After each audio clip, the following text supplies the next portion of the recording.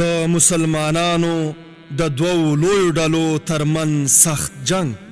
رسول الله صلی الله علیه وسلم فرمای قیامت به قایم نشي تر دې چې د مسلمانانو دوه لوی ډلې به په خپل منځ کې سخت جنگ وکړي حال دا چې د دواړو ډلو دعوا به یوه وي